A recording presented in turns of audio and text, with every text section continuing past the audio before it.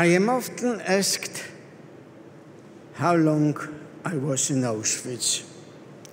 My answer is I do not know.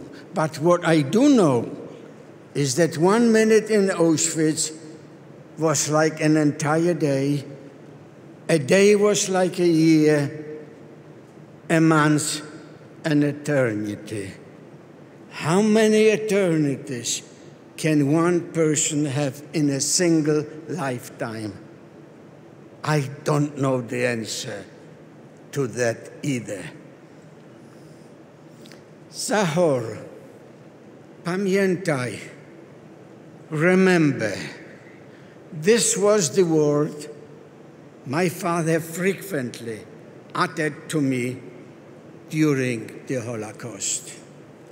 Today, 70 years later, that command to remember is indeed superfluous. For me, a survivor of Auschwitz, to forget the horrific experiences enduring during the concentration camps, even for one moment, is impossible. Witnessing the atrocities committed at the entrance gate to Auschwitz was more than enough to keep me awake at night until the end of time.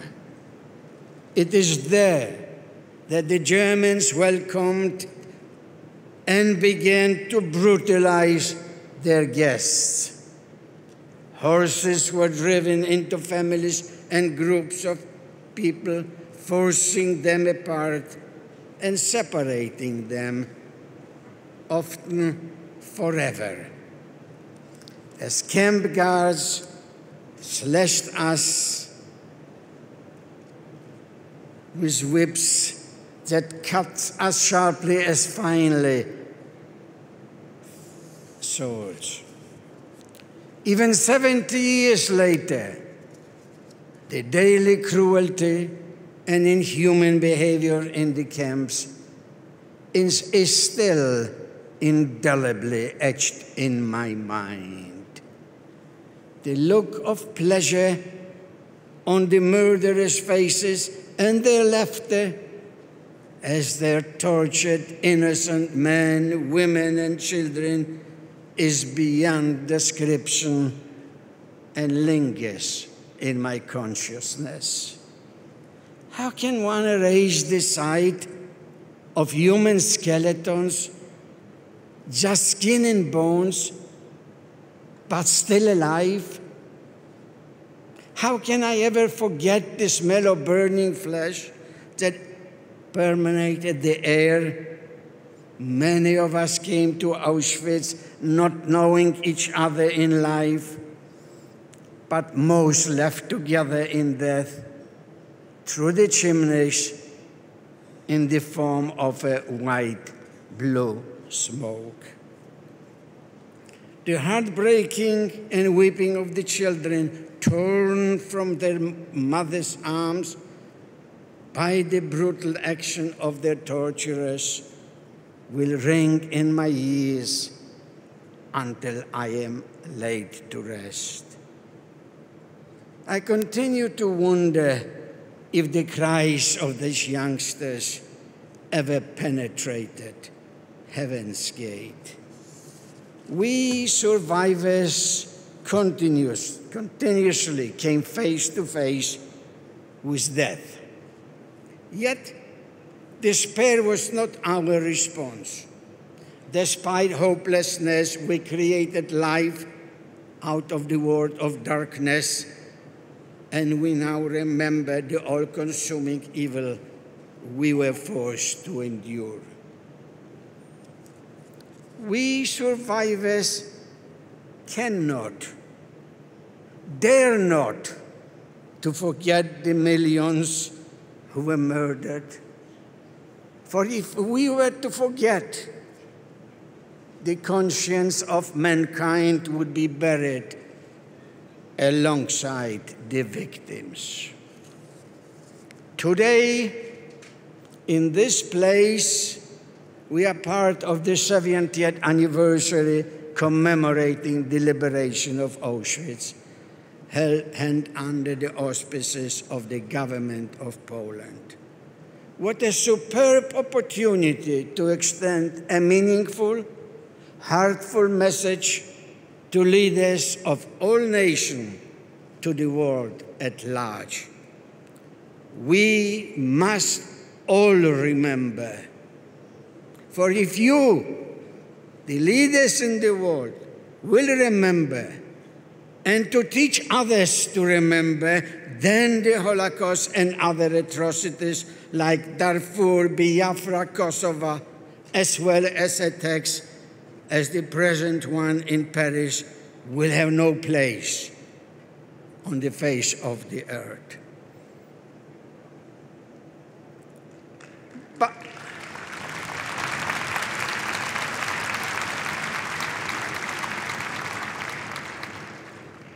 But to remember is not enough. Deeds, deeds as well as thoughts are crucial.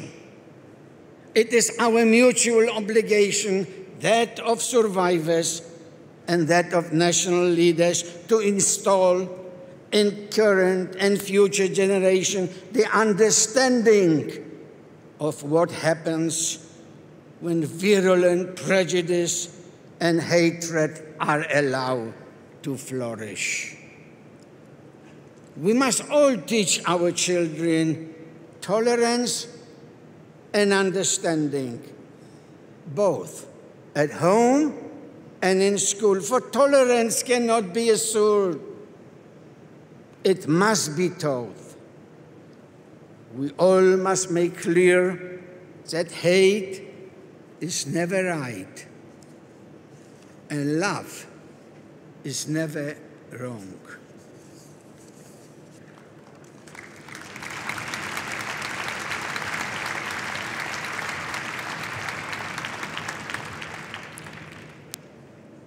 When I think of Holocaust, as I often do,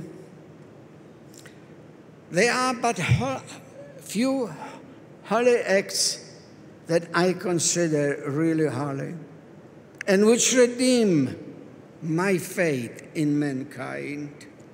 Without hesitation, the courageous and heroic deeds of the non Jews, those we call the righteous Gentiles who saved Jewish life during the Holocaust, fall into this category.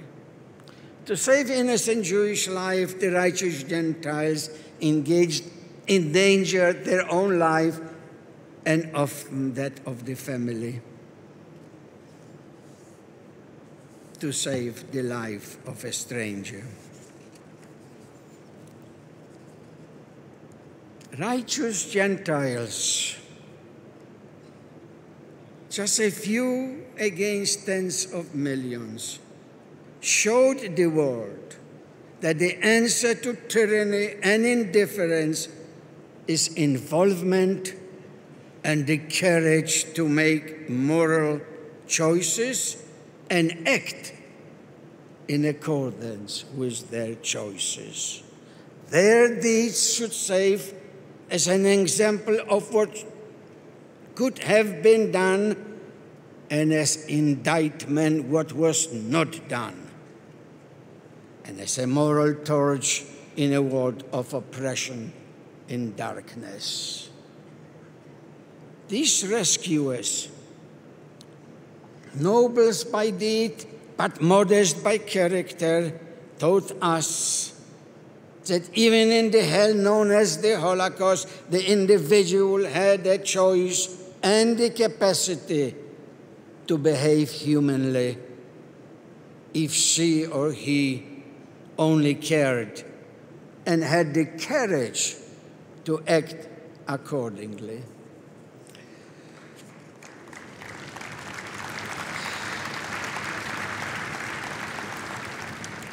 We survivors share a common goal with the current generation. and hopefully with all future generations. We do not want our past to be our children's future. If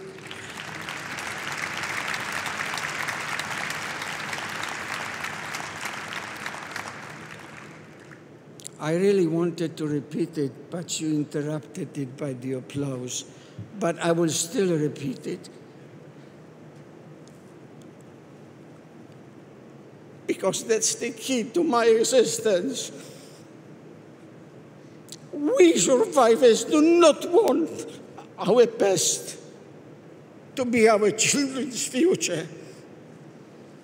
I hope I hope and believe that this generation will build on mankind's great traditions, tempered by understanding that these traditions must embrace pluralism and tolerance, decency and human rights for all people, and must include opposition to anti Semitism and to racism of any sort. It should be commonplace rather than exceptions. Unfortunately, the passage of time makes it more and more apparent that there is an effort by the ideological successors of the perpetrators as well as the deniers and the ignorant, abetted by much of the media. I can repeat it that it was abetted, it is abetted by much of the media. To sanitize, to sanitize the Shoah, they employ language to describe the Holocaust so that it appears less wicked and brutal. Their efforts obscures the truth of what actually happened. For example, it has been become routine to use the word lost when referring to relatives and loved ones who were brutally murdered during the Holocaust. But the term lost does not accurately describe what happened. Lost refers to something that has been misplaced or has gone astray. 11 million people, including 6 million Jews and 1.5 million Jewish children, were not lost or misplaced these children were murdered as there were generations that would have followed them. Similarly, we often hear that the millions perished during the Holocaust. Let me make clear those died in Auschwitz. They did not perish in the normal sense of the word. They were viciously killed, murdered, burned in the crematoria for all intents and purposes, by not telling it as it actually was, clearly and without qualification or hedging, we offensively diminish our outrage that should exist. And in effect, we protect the perpetrators who per perform these reprehensible deeds by using sanitized words, by cleaning up what happened, we unknowingly help the deniers. We hereby posthumously lessen the atrocities of the perpetrator. And yet, and yet, in view of the current participation and awareness of so many world's leaders, there is visible sign of compassion an improvement instead of indifference. This is progress. It is now up to the leaders of tomorrow, but there remains so much more to be done. We all must be involved and stay involved. No one, no one should ever be a spectator. I feel so strongly about this point that if I had the power, I would add an 11th commandment to the universally accepted Ten Commandment. You should never, never be a bystander. Thus, I hope against hope that there is a brighter future for mankind.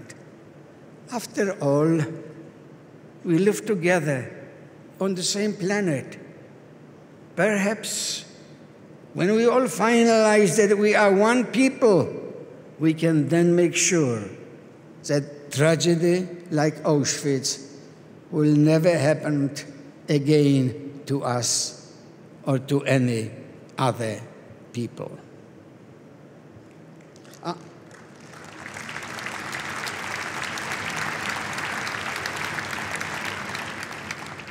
I am going to end my remarks by quoting the writing of Primo Levi expressing his thought about Auschwitz.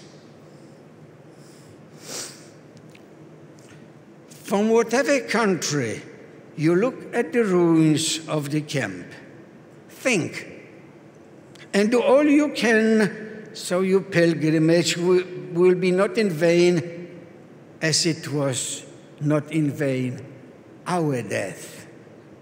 For you and your children, the ashes of Auschwitz are a warning.